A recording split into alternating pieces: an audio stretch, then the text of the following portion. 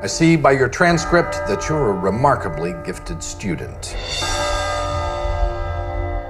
First in your family ever to attend college. Scholarship from your temple. But under religious preference, I see you didn't write Jewish, though you are of Jewish extraction. I'm wondering why that is. I don't prefer to practice one religion over another. Praying to me is preposterous. Is it now?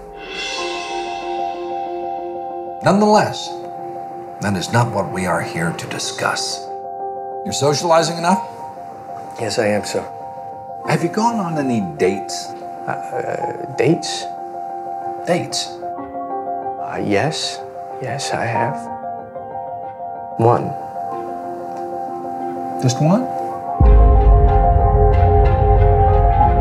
I want to hear all about your mother and your father, the butcher, and what it's like working in a butcher shop and what the girls were like in Newark.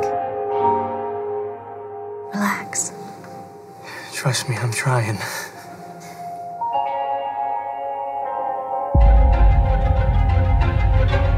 What worries me It's Olivia Hutton's mental history, especially in light of the circumstances. Why did you come and stand under my window? Because it just makes me feel like I'm making sure you're okay. Is weak. A person so unstable is a menace to you, Marky. I'm afraid something terrible happened. I'm afraid I may have had something to do with it.